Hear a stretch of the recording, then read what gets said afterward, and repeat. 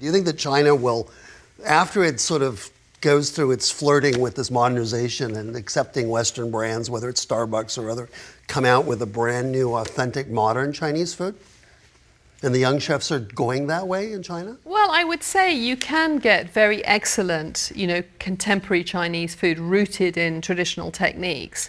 Um, but the sad thing is that, um, you know, chefing has become rather fashionable in the West. You know, young people want to do it. It's kind of glamorous and exciting. It's, it's, That's not the case in China. Yeah. It's still a low status profession, although people love food.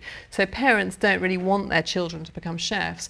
I know outstanding chefs in China who, if they were in the West, would have queues of people from all over the world wanting to come and do stages in their kitchen, and they don't have apprentices. So I always hear this complaint. Young people in China, they're not willing to chi ku, eat bitterness, to really apply themselves diligently to the craft of cookery.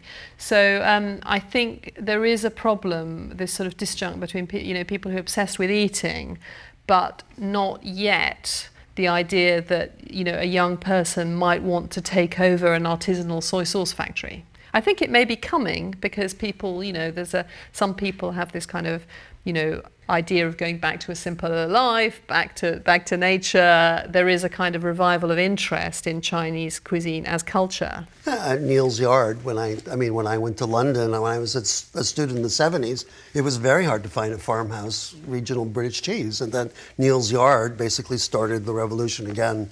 That's you know that that that sparked that. In America, we have this. We now have over 10,000 beers made in the United States with 4,200 microbreweries, and I grew up with probably 30 or 40. Yeah, that's a really good, really good thing. And, and actually, one, one of the inspirations for my most recent book was the Dragonwell Manor restaurant in Hangzhou, which is an exceptional place where the, the owner, Dai Jianjun, or otherwise known as Adai, is trying to sort of nourish the traditions of the region by supporting food artisans, peasant producers, um, trying to give people an honest living for producing what urbanites now consider to be premium, what we think of as organic products.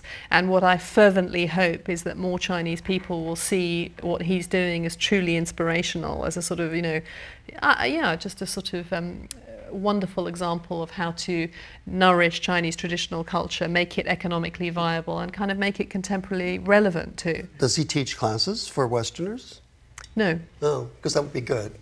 no, no, I just think I, I was just in, in, Shanghai two weeks ago, and, and I go into K11, and what do I see? It's like Chinese women taking classes on how to make birthday cakes for, yes, for their kids. And then yeah. I see the kids' school, which is all about Western cooking. And I'm thinking, and I looked at the whole directory for the next three months. There wasn't one dish in Chinese, that, I mean, one Chinese cooking class. Well, I should it say, was being I mean, taught there. Also in Hangzhou, which, you know, has been a center of gastronomy for 800 years. 800 years ago, they had a restaurant scene with regional restaurants, Buddhist vegetarian restaurants, restaurants specializing in iced dishes, you know what's going on. Sea cucumber restaurants. so in Hangzhou, a few years ago, they opened the Hangzhou Cuisine Museum. A single city has a huge museum with fantastic reconstructions like sushi models of all the classic dishes over 800 years, literally.